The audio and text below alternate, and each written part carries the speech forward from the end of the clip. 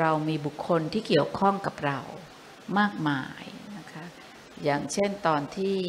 พระบรมศาสดาสัมมาสัมพุทธเจ้าก่อนที่จะเสด็จดับขันนะก็มีความเจ็บป่วย มีความป่วยนะคะมนุษย์ทุกคนก็ต้องเกิดแก่เจ็บตายและป่วยพระนนท์ก็ดูเศร้าใจ ในขณะที่พระองค์เนี่ยเหมือนได้รับสั่งไว้ว่าจะเสด็จดับขันธปรินิพพานนานแล้ว คนดูแลผู้ป่วยต้องดูแลยังไง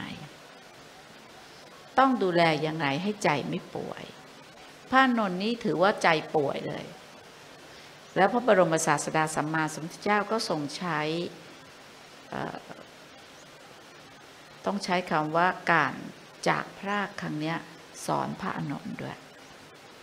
ดังนั้นถ้าเราดูแลผู้ป่วยแล้วเราไม่รู้ว่าเราจะต้องดูแลใจของเรายังไงเนี่ย เราน่าสงสารมากกว่าผู้ป่วย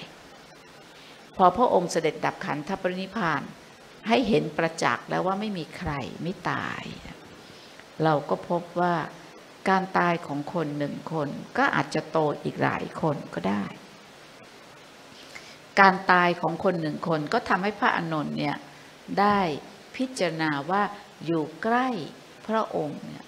พระอรหันต์ก็ไม่เป็นนะ รู้ธรรมะมากมาย ก่อนที่จะมาเป็นเลขาพูดจริง ๆ ภาษาเราก็คือมาเป็น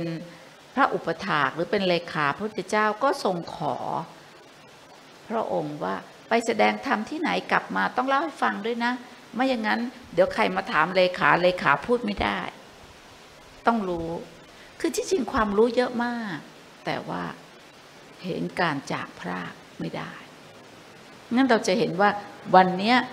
การเสด็จดับขันธปรินิพานเนี่ยเป็นเรื่องจริงที่พระอานนท์ก็